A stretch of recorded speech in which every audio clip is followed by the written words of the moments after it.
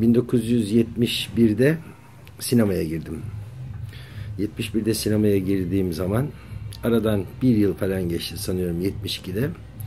Yılmaz abi Ataköy sahilinde e, bir film çekiyor. duydum. Hemen koşarak Bakırköy'den sahile indim. Yılmaz abi bir sandalyede oturmuş kafasında şapka indirmiş böyle uyuyordu sanıyorum. Ee, yanına gittim. Böyle omzuna dürttüm. Yılmaz abi dedim. Şapkayı böyle çıkarttı baktı. Ne var dedi. Ben dedim yeni artist oldum dedim. Adım Tarık Akan dedim. Bana ne lan dedi. Te kapattı şapkasını.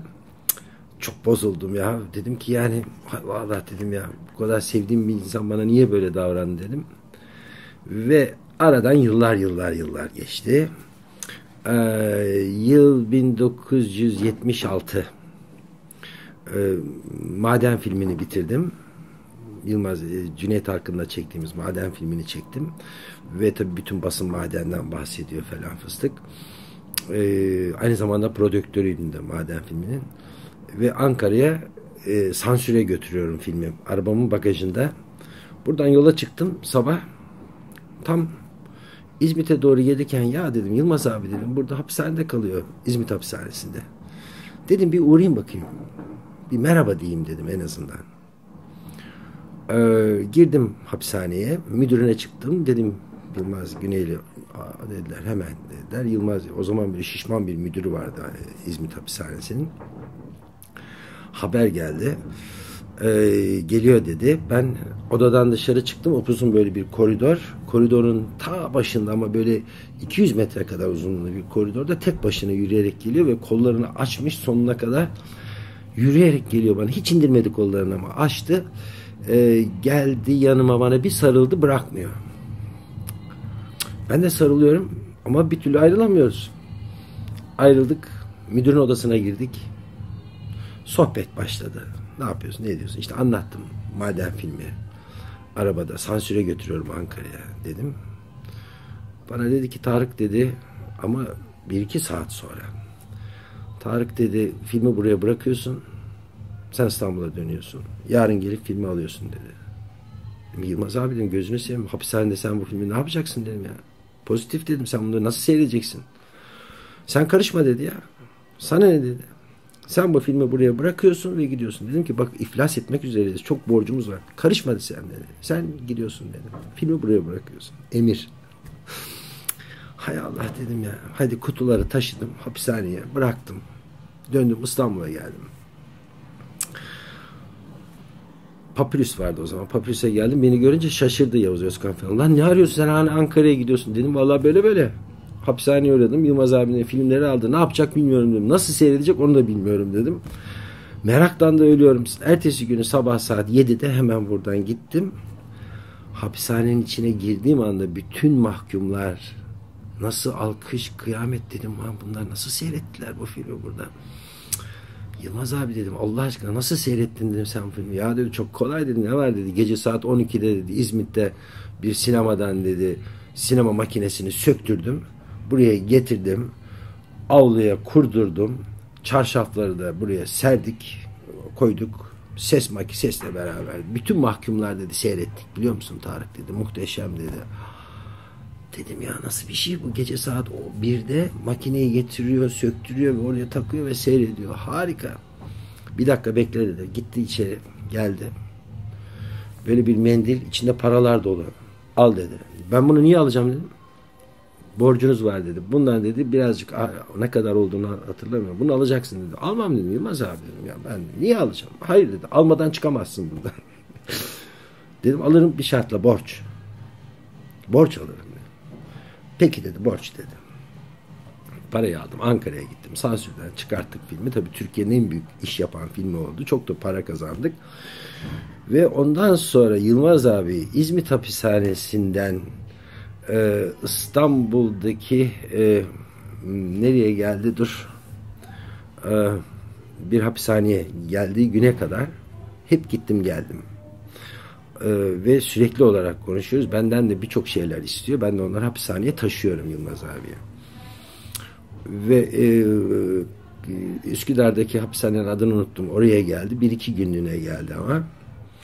Ondan sonra da oradan e, şeye gitti. Adadaki hapishaneye e, İmralı'ya gitti. Ben bir filme gidiyordum Kıbrıs'a. Zeki Ökten elime Sürü filminin senaryosunu verdi. Tarık dedi. Daha o zaman Yılmaz abi İzmit hapishanesinde ama Yılmaz abi görmedim. Bana da hiç bahsetmedi Sürü'den. Çünkü başka bir filme başlamıştım. O bitti. Öbür filme hemen gittim ve Kıbrıs'a giderken koltuğumun altına verdi. Kaç yılı? Ee, 1976'nın sonları olması lazım. Evet. Veya 77'nin başı olabilir. Ee, Kıbrıs'a gittim. Uçaktan iner inmez hemen senaryo okudum odada. Otelin odasında. Senaryo bittiği zaman yerlerde takla atmaya başladım. Zevkten. Bu kadar mı güzel olabilir bir şey diye. O film bitene kadar gece gündüzüm hep sürü filmi çalışmakla geçti. Geldim buraya. Gelir gelmez Yılmaz abi görmeye vaktim de yoktu. Yılmaz abi çünkü o zamanları e, ertesi günü hareket etmemiz gerekirdi. Uçaktan indim. Ertesi günü de Siirt'e gittik. Ve sürü filmine başladık. Muhteşem bir senaryo ve Zeki Ökten muhteşem. Yani her şey harika. Siirt'in Pervari dağlarında, Çemikari yaylasında çekim başladı. Oradan Kurtalan'a indik. Kurtalan'dan trene bindik. Ankara'ya geldik. Bitirdik aşağı yukarı 3 ay falan bir çekim yaptık. Para yok, yemek yok, hiçbir şey yok. Aç bilaç bütün ekip ve oyuncular olarak Türkiye'nin en güzel filmini çektim. Muhteşemdi. Film bitti. Yılmaz abiyle görüş, görüşemedim çünkü o gitmişti artık şeydi adadaydı. Ben bir başka filme başladım. Ee, Hatay'da filmi çekerken asker kaçağı diye yakalandım. Ve beni askere götürüyorlar. Artık yakalandım. Filme gittim. Atıf abi dedi ki 12 gün. 12 günde gittim tekrardan Hatay'a. Bir bayrama rastlamıştı. O gün 12 gün onu bitirdim. Geldim. Yılmaz abiyle karşılaştım. Yılmaz abi bunlardan haberi yok. Tarık dedi ee, bir filme başlıyoruz dedim. Yılmaz abi ben dedim askere gidiyorum. Nasıl yani dedi. Dedim böyle böyle böyle böyle oldu. Ben askere gidiyorum. İmkan yok. Vay anasına dedi ya. Sonra Aytaç Arman oynadı. Çanakkale'de gene Zeki Ökten çekti o filmi. Orada oynayamadım. Askere gittim. Askerden bilim bitmek üzereyken 1980 birin e, ortalarına doğruydu. Başlarına, en başlarında tabii. Bir hayır 1980'in başları. 1980'in başları. 12 Eylül'den önce. 12 Eylül'den sonra 12 Eylül oldu. Ama ben e, Erden Kral'la sürekli telefonla konuşuyorum. Erden Kral'la e, bir filme başlayacağım. Senaryoyu gönderdi. Ve askerliğimin bitmesine de aşağı yukarı bir ay falan var. Ee, Erden'le telefonla konuşuyoruz. İşte senaryo güzel Diyarbakır'a gideceğiz Erden'le bir filme başlayacağım derken Erden telefon açtı. Dedi ki Tarık'cığım e, Yılmaz abi beni çağırıyor İmralı'ya gitmem lazım dedi. Bir iş var galiba dedi. Dedim hemen git hemen git dedim. Hemen git çıktığın zaman da bana şifreli konuş. Çünkü telefonlar dinleniyor şifreli konuş iki kelime, üç kelimeden fazla söyleme dedim. Aradan dört gün geçti. Dört gün sonra e, Erden'le konuştum. Dedi ki Tarık'cığım e, bir senaryo dedi. 12 mahkum dedi. Haftalık izinle çıkarlar. Geriye dedi en fazla iki kişi döner dedi. Geri kalanların hepsi ölür dedi. Allah'ım ya Rabbim muhteşem bir senaryo dedim. Tamam Diyarbakır'ı bırakıyoruz dedim. Buna giriyoruz dedim. Bir ay sonra İstanbul'dayım dedim. Askerliğim bitti geldim. Yılmaz abi de e, arada bir izin alıyor has, e, hapishaneden. Annem hasta diyor. Raporlar geliyor bilmem ne. E, Üsküdar'daki evinde buluştuk. Pardon karıştırdım. O sonra buluşmaydı. E, askerden geldim ve Erden'le e, filme başladık. 12 oyuncu var. Yol filmi. 12 oyuncu var. Ama herkes tiyatrocu. Benim dışımda. Buradan şöyle İstanbul e, Fethiye'den şeyden Ayvalık'tan başlıyoruz. Buradan Ayvalık, Ayvalık'tan aşağı iniyoruz. Denizli, Denizli'den e, Adana'ya ineceğiz. Adana, Hatay, Urfa, Gaziantep, Diyarbakır taraflarında filmi bitireceğiz. Siirt de var işin içinde. Böyle bir daire çizilecek ve herkesin hikayesi anlatılacak. Ama bir türlü proje yürümüyor. Ah şeydeyken e, tabi tiyatrocular tiyatroya gitmesi lazım. İş yürümüyor. Figürasyon var. Cunda Adası'nda kalıyoruz. Cunda Adası'nda çekim yapıyoruz. Adaya ve denizde de çekim yapıyoruz derken baktık ki proje yürümüyor. Ee, ben de o zaman e, hapishaneye haberler gönderiyorum Yılmaz abiye. Sorunları anlatıyorum. Prodüksiyon amiri kanalıyla sürekli hapishaneye haberler gidiyor. Ee, ve Fatoş geldi sete. Gece akşam üzeri. Balkondayken Fatoş'u gördüm. Fatoş ne haber dedi. Hemen gel Tarık dedi. Gittim. Otelde dedi Erden'i çağır. Erden geldi. Erden ben Fatoş. Dedi ki Yılmaz Bey'in bir emri var.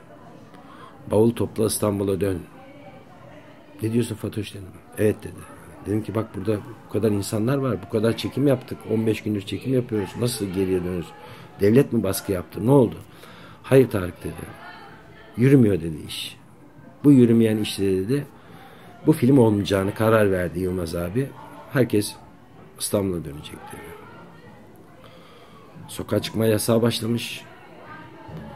Ee, ertesi günü sabahın köründe otobüsler bulundu. Figürasyonda biz İstanbul'a geldik ve Erden filmden el çekildi. Ertesi günü Yılmaz abi izinli olarak İstanbul'a geldi. Üsküdar'daki veya Kadıköy'deki Üsküdar'daki evde Fatoş'un evinde buluştuk. Ee, ben gittim eve. Konuşuyoruz bütün olan olayları neler olabilecek. Dedi ki bu Erden'le olmaz. Yönetmen bulmamız lazım. Yılmaz abi bana diyor ki şu yönetmen olun. Yılmaz abi yapma. Senaryo muhteşem. Bunu olmaz. O olmaz. Bir tek dedim bunu dedim Şerif Gören çeker. O dedim hapiste. O da dedim hapiste yani yapacağımız bir şey yok. Gel bu senaryoyu harcamayalım koyalım bir kenara. Günün birinde bunu çekeriz. Böyle bir karar aldık. Ertesi, gün, ertesi günde sabah Yılmaz abi benim o zaman Mercedes bir arabam var. Benim arabamla Mercedes'imi bıraktım onu oraya. Benim arabamla e, memleketine gidecek. E, savcılığa imza atacak. Tekrar hapishaneye dönecek. Benim arabamla gidecek. Ben o gece e, Taksim'e geldim. Taksim'de e, gazete aldım. Ertesi günün gazeteleri gece çıkardı. Aldım gazeteyi. Bir baktım Şerif Gören serbest bırakılmış. Gazetede böyle yazıyor. Hemen ilişki kurdum Fatoş'la dedim Fatoş sakın dedim Yılmaz abi gitmesin. Şerif serbest bırakılmış. Yarın dedim geliyorum eve. Ertesi günü gene hemen koşturarak Üsküdar'daki eve gittim. Dedim Yılmaz abi gözümüz aydın serbest bırakılmış. Of, akşama kadar Yılmaz abinin evindeyiz. Şerif Gören aranıyor ve Şerif Gören yok. Nasıl serbest bırakıldı? Nerede? Yok, yok, yok. Gece yarısı ee, ben dayanamadım. Sokağa çıkma yasağı var. Mecburen geri döndüm. Telefon açtı Fatoş bana. Dedi ki Şerif bulundu. Eve girerken, hapishaneden çıkmış eve girerken Yılmaz abinin arkadaşları e, Şerif'in koltuğunun altına senaryoyu koyuyorlar. Bunu bu gece okuyacaksın diyorlar. Bak çıktığı birinci günü. Bunu bu gece okuyacaksın. Yarın şu adrese geleceksin diyorlar. Bulduk e, Şerif'i. Tarık yarın gel dediler. Ertesi günü tekrar gittim. Şerif ben Yılmaz abi oturduk konuştuk. Şerif dedi ki 12 mahkumu çekmem ben. Şu kadar mahkum çekerim. Bu kadar uzun olmaz bilmem ne bilmem ne. Sabahtan akşama kadar konuşmalar anlaştılar. Yılmaz abi Zeki Ökten ki ben ondan sonra bu yol filminin içerisinde e, Dağ diye bir, ikinci bir projesi vardı. Muhteşem bir projeydi. E, benim Güneydoğu'da işim bittiği zaman ona geçecektim ve onun da yönetmeni Zeki Ökten'di. Zeki Ökten de onunla beraber memleketine gidiyor Yılmaz abinin. Fatoş, Yıl, e, Zeki Ökten, Yılmaz abi bir de şoförü. Onlar yola çıktılar. Biz sabah döndük. Ee, akşamya doğru bir baktım Zeki Ökten Beyoğlu'nda. Ne oldu dedim ya sen gidiyordun. Tarık dedi arabadan dedi kaza yaptı dedi şoför İzmit'te dedi. Senin arabanın dedi sol farı gitti dedi. E dedim. Yılmaz abi dedi şoför attı aşağı dedi kendisi kullanıyor dedi. Ya dedim nasıl olur bu kadar yıldır hapiste yatıyor dedim nasıl kullanır? Vallahi dedi, bilmiyorum dedi. Onu at dedi. Fatoş'la beraber gidiyor dedi. Eyvah dedim gitti benim araba. Aradan bir hafta geçti. Araba geldi. Her şeyini yaptırmış ama çarpılan yerle. Çiçek gibi arabayı teslim ettiler bana. Başkası Yılmaz abi hapse gitti. Biz de o arada Şerif Gören'le yol filmine başladık. Yol filmi bitti. İlk e, işi biten bendim. E, Siirt'te pardon evet yok Ağrı'da Ağrı'da e, işim bitti ve ben ilk ben geldim. E, Isparta yarı açık cezaevinde kalıyor Yılmaz abi. E, büyük bir merakla beni bekliyor ki buradan otobüste gidiyorum oraya. Akşam biniyorum sabah iniyorum orada. Sabah onunla konuşuyorum. yarı açık cezaevi. Sarıldık, öpüştük, koklaştık. Merakla bekliyor. Ben her şeyi anlatıyorum detay detay. O zaman da ekip e, Gaziantep veya Urfa taraflarında e, filmin öbür bölümlerini çekiyorlar. Ve orada da dünya kadar sorun yaşanıyor. Bir de tabi sıkı yönetim olduğu için çekim de çok zorlanıyor. Mesela e, Konya'da işte karıma evine, annemin evine geleceğim. Karım da orada e, düşünüyorum. E, sokağa çıkma yasağı var ve otobüs istasyonu, otobüs terminalinde çalışmamız lazım. Gece işte saat 11-12 gibi sokağa çıkma yasağı başlıyorsa tam tarihi saatini unuttum. Biz orada kaldık bütün ekip olarak. Sokağa çıkma yasağı başladı ve biz çekime başladık. Sabaha kadar. Ordunun haberi yokken kaçak çalıştık. Ee, Diyarbakır'da çalışmamız lazım. Asker görmemiz lazım. Çünkü jandarma görmemiz lazım. O zaman jandarmayı kullanmamıza imkan yok. Ee, kıyafet bulmamıza imkan yok. Ben oradaki komutana çıktım. Dedim ki bakın e, bir film çekiyoruz. Sansürden senaryomuz, sansürden müsaademiz bu.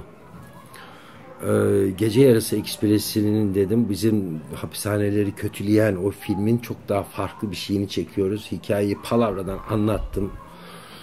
Adam çok hoşuna gitti. Dedim ki valla bu halk dedim bizi rahatsız ediyor. Yani bütün Diyarbakırlar üstümüze geliyor. Kamerayı koyamıyoruz. Bizi dedim koruyacak bir jandarma lazım. Etrafımıza en az 5-10 tane. Tamam dedi ya kolay dedi. Hakikaten 50 tane 100 tane jandarma gönderdi. Bütün yolları kesildi ama şimdi kameranın önünde ben varım ama kamera sürekli olarak jandarmayı çekiyor. Jandarma nereden anlasın bunu? Ee, bütün e, yol filminde gördüğünüz o jandarma Urfa, Gaziantep dahil olmak üzere hepsini böyle kullandık. Yani daha sonra yani bizim çıktı. Çıktı. Şöyle çıktı. Film bitti. Cannes Film Festivali'nde Altın Palmiye'yi almadan bir ay önce Kenan Evren dava açtı. Ee, bu jandarma gerçek mi değil mi? Bir. İki. Bu atı öldürdünüz mü öldürmediniz mi? Mahkeme. Ve Şerif Gören buradan yargılandı. Hayır jandarma ve attan palavra mühim olan dava. Ee, ve biz dedik ki hayır bunların hepsi figürasyon. Askerlik hiç alakamız yok. Giydirdik yaptırdık bilmem ne ispat edemezler. Ee, tabii bir de Kanda ödülü aldığı zaman artık bir daha üstümüze gelemediler ama Şerif'in mahkemesi çok uzun sürdü. Bana bulaşamadılar. Ee, e tabii yani çünkü hem o dönemde böyle bir film çekiyorsun. Daha darbe yapılmış ama tam yerine oturmamış Daha e, e en azından e, Eylül, e, Ekim, Kasım'da biz e, Kasım Aralık'ta başladık. 3 ay, 4 ay sonrasının işi bu. Yani oturmadığı için bütün her şeyimizi böyle hallettik. Ah, şey Yapımcı kimdi filmde? Hangisini? Ee, yol. Güney Film ve e, şey e, yurt dışındaki bir şirket var. Şimdi film çekiliyor. Film sorun çıkardın mı? Hayır, hayır. Film çekiliyor. Her e, hafta her hafta çekilen bütün negatifler o kişiye veriliyor. Olduğu gibi bütün negatifler Avrupa'ya kaçırılıyor. Burada kalsa zaten imkan yok. Burada mahvederler. Bütün çekimdeki negatiflerin tamamı Avrupa'ya gitti. Gitmese zaten bu yol filmi e, çıkmazdı ortaya. Bunu bir tek bilen Şerif ve benim. Başka kimse bilmiyor. Bir yabancı adam var içimizde. Soruyorlar kim lan bu diyorlar. Türkçe bilmiyor. Ya sana ne diyoruz? Boş ver. Bu herif geliyor negatifler akşam oluyor. Alıyor götürüyor. Ee, tabii hapishaneye geldim. Ee, Yılmaz abiye dedim ki Yılmaz abi işte anlattım anlattım ama anlatacağım en son şeyi en sona sakladım. Bakayım nasıl bir tepki verecek diye. Dedim ki Yılmaz abi e, son sahnede e, bir sahne çektirdim Şerif Gören'e dedim. Bu senaryonda yok dedim. Hangisi dedi. Dedim valla bu karısı öldükten sonra dedim adam trene biner. O adamın karakterine uygun bir ağlama içten bir ağlamadır bu dedim. Hüngür hüngür değildir dedim. Ne diyorsun sen dedi ya. Ne diyorsun dedi bu Seyit dedi. Seyit dedi böyle bir adam değil dedi. Ağlamaz dedi Seyit. Ve Yılmaz abi bahçede oturuyoruz. Çok kızdı bana. Sen bunu dedi o zaman bütün karakteri yanlış oynadın Tarık dedi. Niye dedim Yılmaz abi böyle söylüyorsun. O adam ağlamaz dedi. Benim senaryomda o adam öyle değil dedi. Bak dedim Yılmaz abi bu kadar sinirlenme. Montaj elinde. Keser atarsın dedim o sahneyi. Ama dedim filmi seyret.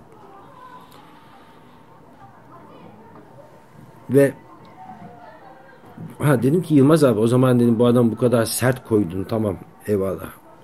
Peki dedim bir sahne var dedim senaryoda. Onu çekmedik. Duvarda bir sazı vardır. Bu sazı karısına çalar.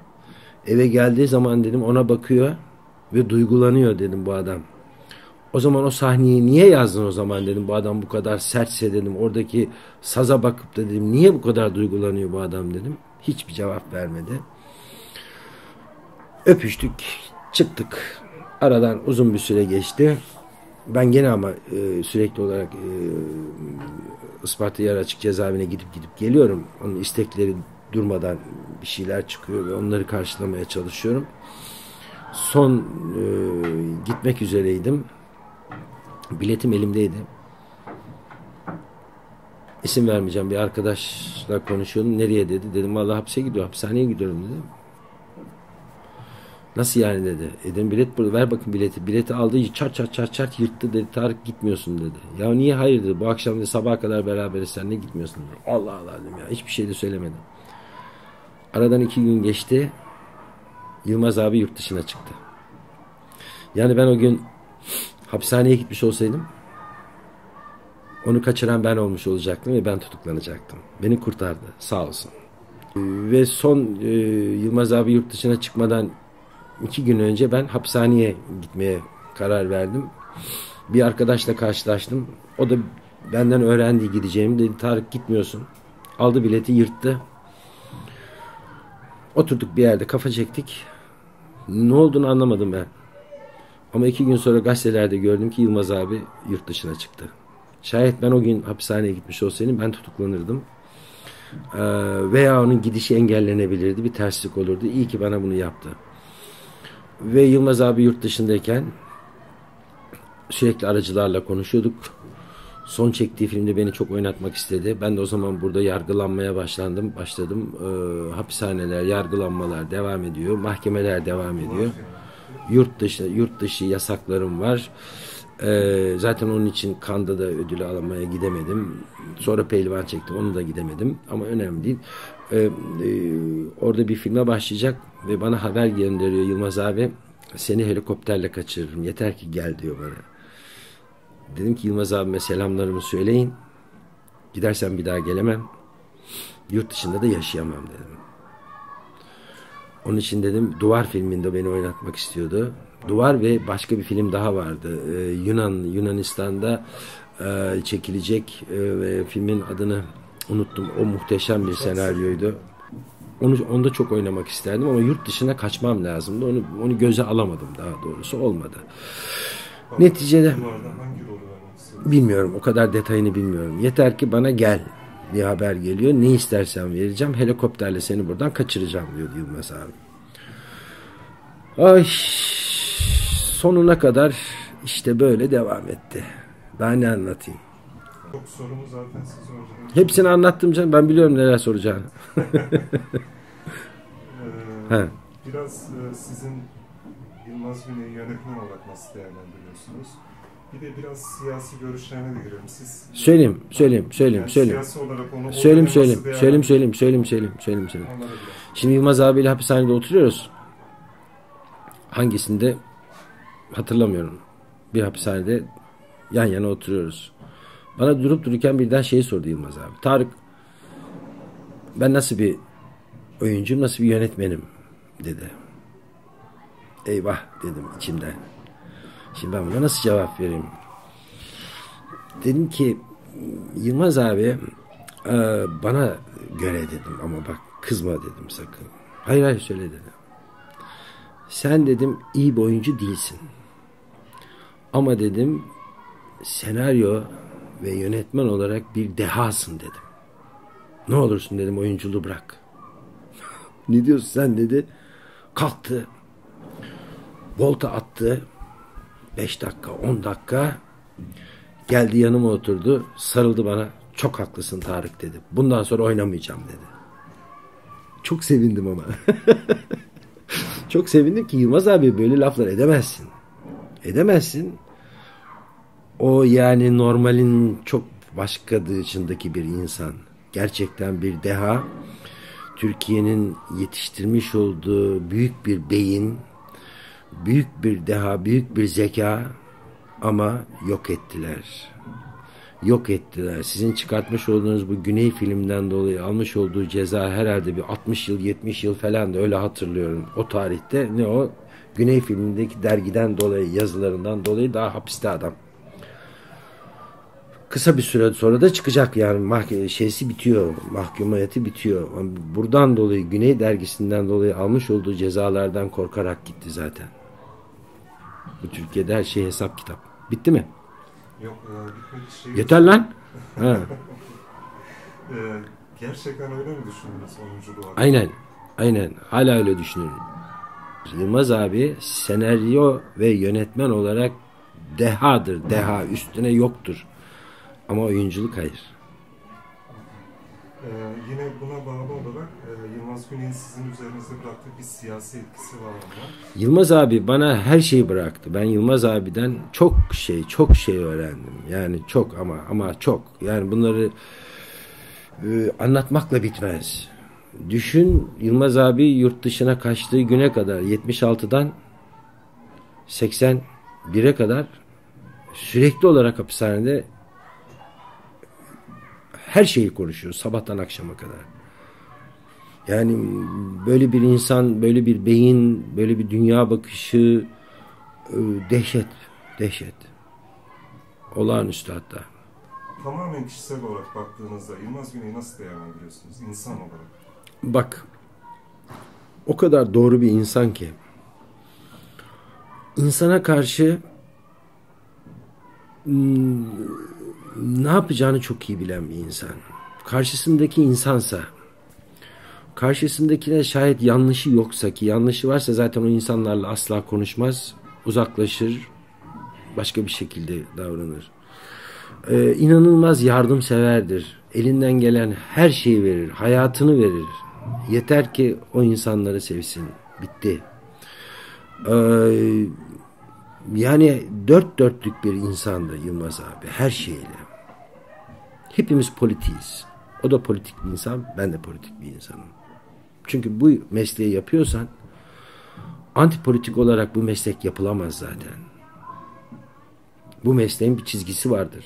Herkesin kendine göre bir çizgisi vardır. Yılmaz abi hepimizden daha kırmızıydı. Adana'sından buraya gelene kadar hayat hikayesini okuduğunuz zaman zaten her şey ortaya çıkar. Bu kadar açık ve net. Yaptığı işlerde bu kadar doğrudur. Tamam. Bitmiştir abi. Yok biraz.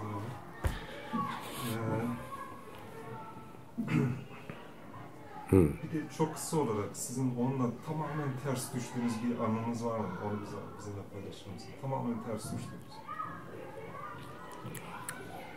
Şimdi yol filmine gideceğim. Bıyıklarımı falan bırakmışım. Her şeyim hazır. Altın dişimi yaptırmışım. İki gün sonra hareket edeceğim. Güney filminden çağırdılar beni. Sabahın köründe gittim. Dediler ki Tarık abi sen bu filmde oynamıyorsun. Nasıl yani dedim ya. Bir kağıt göster. Yılmaz abi yazmış. O kağıt hala bende durur. Ben oynamıyorum. Sebep ne? Vallahi bilmiyoruz dediler. Ulan oğlum iki gün sonra gidiyoruz. Her gün beraberim. Ne oldu? Ne oldu ya? Bana bunu söyleyin. Vallahi bilmiyoruz abi. Kağıt geldi. Hani çıldırdım. Gittim hemen bilet aldım. Akşam bindim otobüse gittim Isparta'ya. Nedir ya bu? Bu kadar istediğim filmde nasıl olmam? Hapishaneye girdim sabah körü. Nerede dedim Yılmaz abi? Çok sinirliyim ama. Dediler ki abi arka tarafta odun kırıyorlar. Biliyorum hapishaneyi. Girdim. Bahçeye çıktım. Böyle böyle öbekler yapılmış. Bütün mahkumlar dağ gibi odunları kırıyorlar. Nerede Yılmaz Güney'dim? Bağırdım. Ta en sondan Yılmaz abi çıktı. Gene elini açtı bana doğru geliyor. Sarılmak istediğini bana sarılma. Bana bunu söyle. Bu kağıt nereden geldi? Ya sinirlenme dedi Tarık. Ben sana bunu anlatacağım. Bak dedi bütün mahkumlar bize bakıyor Tarık böyle davranma dedi kulağımda. Yapacağım hiçbir şey yok. Hadi bana sarıl dedi. Şey, yalandan sarıldım. Aldı beni yemekhaneye soktu. İkimiziz başka kimse yok. Konuşmuyorum. Ondan cevap bekliyorum. Dedi senin karnın açtır dedi. Değil dedim. Açtır açtır dedi. Birisini çağırdı. Gel oğlum buraya dedi. Bak dedi Tarık abine dedi bal, kaymak, süt, reçel, peynir, şu peynir, bu peynir hepsini olan içindendim. Ulan nereden bulacak hapishanede şimdi bunların bal, kaymak, bin tane çeşitli peynir. Aa 15 dakika sonra hepsi geldi abi. Koydu buraya. Hadi ye dedi. Bir yemem dedi. Kendisi böyle ekmeğe sürüyor. Bunu ye Tarık. Yemem Yılmaz abi diyorum. Sen bana şunu söyle dedim ya. Bu, bu ne? Sen şunu ye sonra anlatacağım. İki tane ısırdım hadi söyledim. Sen dedi gazetede dedi benim hakkımda dedi ben Yılmaz Güney'in yerini alacağım diye bir laf söyledin mi dedi. Ne diyorsun sen dedim ya. Ben senin yerini niye alacağım dedim. Sen sensin ben benim dedim. Benim senin yerini almama imkan var mı dedim ya. Gazetede bunu yazdı diye sen bu yazıyı mı yazdın dedim Yılmaz abi. Hayır dedi senden çok özür dilerim Tarık dedi. Ben hata yaptım dedi. Böyle bir şey yok dedi. Böyle bir şey yok dedi. Yeni bir kağıt yazdı. Bayağı büyük. O da bende duruyor. Deli. Yılmaz abi bu abi. Olay buymuş yani. Evet. Şimdi Yılmaz Güney'in filmlerinden sonra birçok filmde, çok önemli filmlerde oynadınız. Ee, kıyaslama yaptığınızda Yılmaz Güney sinemasına yakın bir yönetmen. Hayır, hayır, hayır, hayır olmaz. Yılmaz Güney'e yakın sineması olan bir sinemacı olamaz. O en yukarıdaki bir kişidir. Sinemacı, sanatçısı olarak, beyin olarak. Başkaları da kendi içerisinde büyük olabilir. Eşdeğer ve böyle birleşmesi yanlıştır zaten. O odur, o odur. Ama Yılmaz abi en büyüğüdür bana göre. Bitmiştir. Ona yakın olan birisini söyleyeyim. Ee, e, hayır, hayır, hayır.